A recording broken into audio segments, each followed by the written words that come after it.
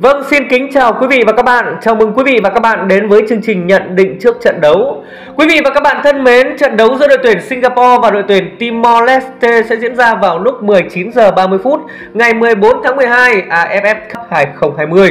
Thưa quý vị và các bạn, à, trận đấu này được đánh giá là rất là hay bởi họ đang vượt trội hơn rất nhiều so với các đối thủ khác tại bảng A quý vị nhé.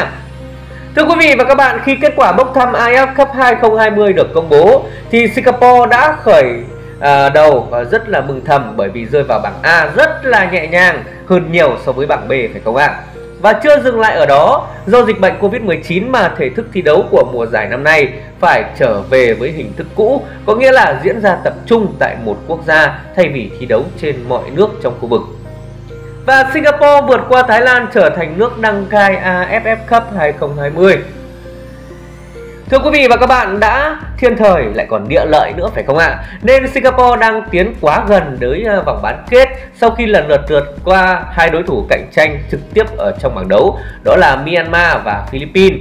Giờ đây chỉ cần đánh bại nốt đối thủ yếu nhất bảng đó là Timor Leste, toàn thua 3 trận đã chơi không ghi nổi bàn nào.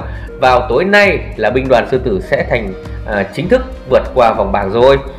Thưa quý vị và các bạn, dù lối chơi còn đơn điệu chủ yếu là các bài tạt cánh hoặc là đánh đầu, nhờ vào ưu thế về mặt thể hình lẫn thể lực của các dàn cầu thủ, song không thể phủ nhận Singapore đã thi đấu khá là thuyết phục ở hai trận vừa rồi phải không ạ?